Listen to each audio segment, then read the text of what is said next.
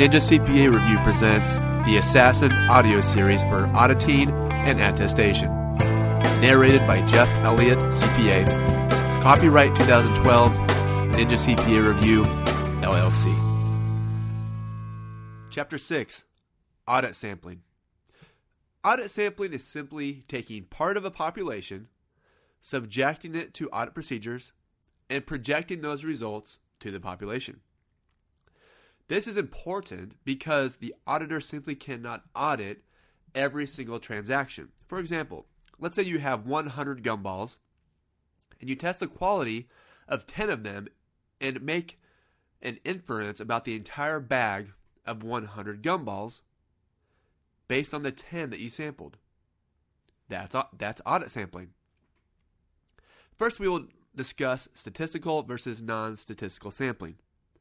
Statistical sampling is based on formulas and helps the auditor to find an appropriate audit sample. Statistical sampling also helps evaluate the evidence obtained and to quantify sampling risk, which we will talk more about in just a minute. So, statistical sampling is based on formulas, whereas non statistical sampling is based on human decision. If you get a question on the exam asking you which type of sampling is preferred, the answer is both. Both are equally acceptable. We've covered substantive procedures, also known as substantive testing. What type of sampling do substantive procedures use? Substantive procedures use variable sampling and probability proportionate to size sampling. Let's dig into each of these. Variable sampling is testing for a dollar amount. The value in the sample gives information about the value in the entire population as expressed in mean or average per unit. Mean per unit is the sample average for whatever you're testing. Again, this is a dollar amount times the number in the population. Stratification is a form of variable sampling where similar transactions are grouped together. For instance, all transactions greater than $1 million are grouped together and then subjected to audit procedures. Stratification decreases the effect of variance in the population and it reduces sample size. Probability proportionate to size sampling is a form of variable sampling. One thing to know about probability proportionate to size sampling, and know this for, for the exam for a quick point, it does not use standard deviation. Like regular variable sampling, the auditor focuses on a dollar amount. With probability proportionate to size sampling, larger or more valuable items get picked more often as part of the sample and any projected misstatements, which are misstatements that are found in the sample, then the auditor has to take them and project them to the re- remainder of the audit population. So, what's the difference between variable sampling and probability proportionate to size sampling? Well, for purposes of the CPA exam, variable sampling makes it easy to expand the sample size and selecting zero and negative balances is also easier. Probability proportionate to size sampling is easier to design and use than classic variable sampling because it results in a smaller sample size to audit and it's stratified and homogeneous in nature. That covers sampling as it relates to substantive procedures. Now we turn to control tests, which uses attribute sampling.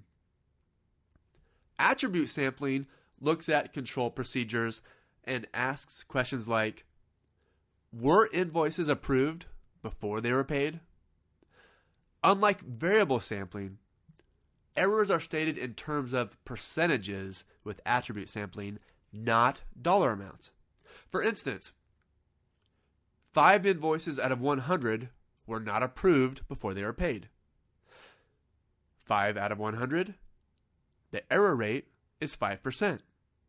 It's important to note that if you see error rate on the CPA exam, they are referring to attribute sampling, and it's a giveaway that they are asking a question about controls. Control procedures are either operating properly or they are not operating properly based on the error rate and the toleration for errors that the auditor has.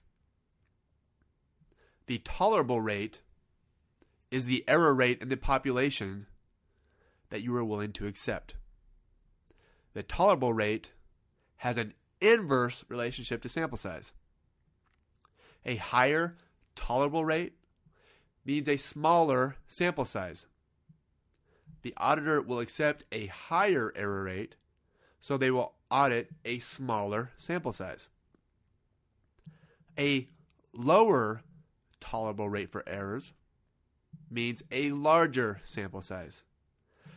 The auditor will accept a lower error rate, so they, were, they will audit a larger sample size.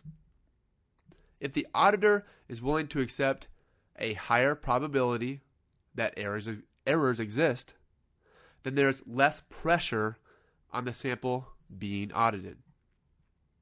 Error rate has a direct relationship to the sample size. More errors expected, larger sample. Less errors expected, smaller sample. This all makes sense. If you expect more errors, you do more work. It's called attribute sampling because the attribute in the sample gives information about the entire audit population and is used to estimate the internal control error rate. The expected population deviation rate, deviation means error, is used to determine the initial level of control risk. I'll say that again. The expected population deviation rate is used to determine the initial level of control risk. Just to recap, what is control risk again? Control risk is one of the components of audit risk, joining inherent risk and detection risk. And that is the risk that internal controls will fail to prevent a material misstatement. The allowable risk of over reliance is the risk of assessing control risk too low. The allowable control the allowable risk of over reliance gives you sampling risk. What is sampling risk?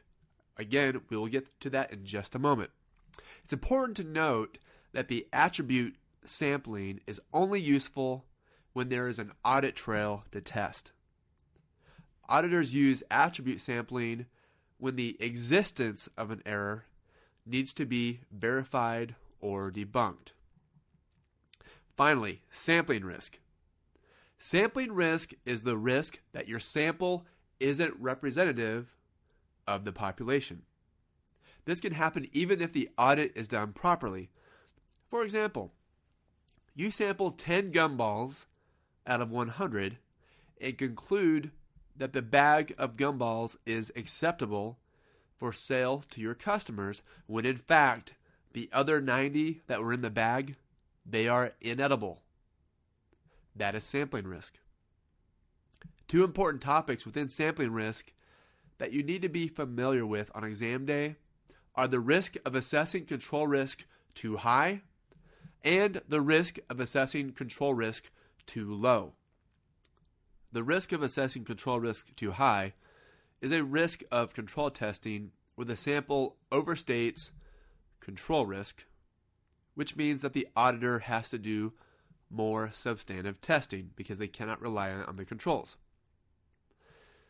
Since control risk is assessed to be too high, this leads to an under reliance on internal controls, an over testing of evidence, and overall audit inefficiency. The audit ends up being effective and leads to the correct result, but the auditor does more work than was necessary. That covers the risk of assessing control risk too high. We will now turn to the risk of assessing control risk too low. The risk of assessing control risk too low is again a risk of control testing where the sample understates control risk. Basically, it tells the auditor that the controls are stronger than they truly are. This error leads to an over reliance on internal control, under testing of evidence, and overall audit ineffectiveness.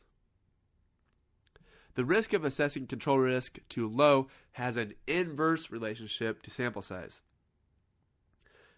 If there is a higher accepted risk of assessing control risk too low, then the auditor will choose a smaller sample. If there is a lower accepted risk of assessing control risk too low, then the auditor will choose to audit a larger sample size. Assessing control risk too low also leads to a higher detection risk. Why? Let's recap.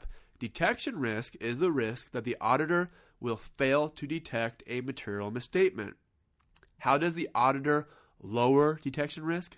By doing more testing. In this instance, control risk has been assessed to be lower than it actually is, so the auditor feels they, that they can rely more on controls than they really should, which causes them to do fewer substantive procedures, which again leads to a higher detection risk. Some of these relationships can be confusing, but if you think about it, it makes sense. If controls are good, the auditor does less testing for the sake of audit efficiency. When an auditor does less testing, then detection risk goes up.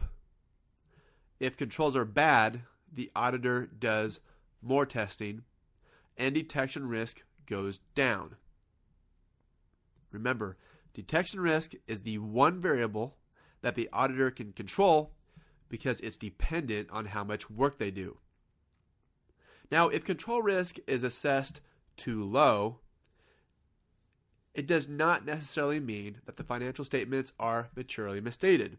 However, it does mean that there, if there is a material misstatement, the auditor is less likely to find it. Incorrect acceptance. Incorrect acceptance is a risk of substantive testing. So we were talking about control testing, now we're moving back to substantive testing. Incorrect acceptance is the risk that the auditor will accept a balance as fairly stated when in fact it's not fairly stated. This hurts audit effectiveness because the wrong conclusion is reached. The audit may be efficient, but it's not effective. You would much rather have an inefficient audit than an ineffective audit, by the way. Investors don't care if it took the auditor more time than it should have to do the audit. Investors do care, however, if the auditor misses something and their investments are based on financial information that contains material misstatements. Incorrect rejection. Incorrect rejection is also a risk of substantive testing. With incorrect rejection, the auditor rejects a balance as fairly stated when in fact it is fairly stated. This hurts audit efficiency because they end up doing more work, but it doesn't hurt its effectiveness. Non sampling risk. While sampling risk is the risk that your sample isn't representative of the population, non sampling risk is the risk of the auditor missing an error. Synonyms for non sampling risk to be aware of on exam day are exception, error, and deviation. Sampling versus non sampling risk. What's the basic difference? Sampling risk deals with the chance that your audit sample is flawed. Non sampling risk deals with the chance that your human decisions or the conclusions that you reach are flawed. What are some factors that affect sample size? Tolerable rate for error, which has an inverse relationship with sample size. More error tolerance, smaller sample. risk of assessing control risk too low, which has an inverse relationship with sample size. If there is a high risk that control risk will be assessed to be lower than it should be, the auditor will end up with a smaller sample. Expected population error rate has a direct relationship with sample size. Higher expected errors, bigger sample. Fewer expected errors, smaller sample. Let's cover the formula for audit sampling. The formula is sample error rate plus allowance for sampling risk must be less than the tolerable error rate. Let's say that the sample error rate is 5%. The auditor audited a sample of 100 invoices, and 5 out of those 100 were not approved correctly. So the sample error rate again is 5%. The allowance for sampling risk is the amount that you add to the sample error rate to get some cushion for your sample. Now, this amount is based on auditor experience. If the auditor sets the allowance for sampling risk at 2%, well, then that means that the population error rate could reach 7%. Again, the sample error rate was 5%, plus the allowance for sampling risk, which the auditor assessed to be at 2% based on their judgment. So those two numbers combined bring the population error rate to 7%. And that must be less than the tolerable error rate. The tolerable error rate is the population error rate that the auditor is willing to accept. If the population error rate is less than the tolerable error rate, then the auditor accepts the control as effective. So in this case, the population error rate was 7%. If that's less than the error rate that they are willing to tolerate, then accept the control risk as effective. If the population error rate is greater than the tolerable error rate, so in this case, the population error rate was 7%, but the tolerable error rate maybe was 5%. Well, then the auditor has to do more testing to get the sample error rate lower, or that they have, they have to conclude that the control isn't effective. In this case, maybe the auditor audits another 100 invoices and finds that all of those 100 invoices were properly approved.